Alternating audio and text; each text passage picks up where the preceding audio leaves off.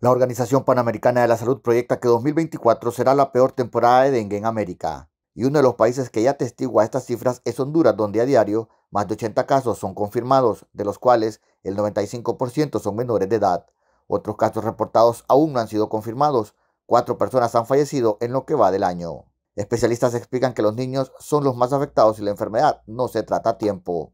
El resto de países de Latinoamérica, incluyendo nuestro país, los casos siguen en ascenso. Y una de las características más eh, típicas es las altas temperaturas que han habido en la región, así como las constantes lluvias. Y es que en el país cada semana los casos de dengue aumentan. Solo en la capital, Tegucigalpa, contabilizan más de 1.800 casos desde enero hasta la última semana de marzo. Casos de dengue se están presentando a, a diario, entonces es necesario que nosotros mantengamos a la población informada de estos síntomas. Aunado a eso también se suman las enfermedades respiratorias que en los niños es bastante frecuente.